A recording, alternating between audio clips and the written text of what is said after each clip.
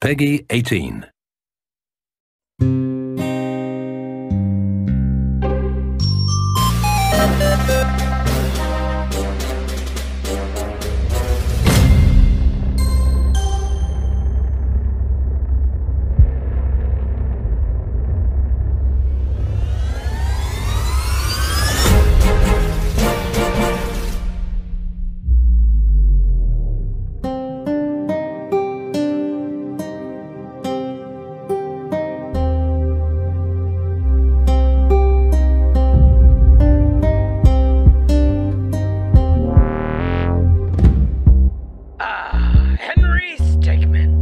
The man who stole the Tunisian diamond. That's great. But for us, I mean. Well, who's us, you may ask?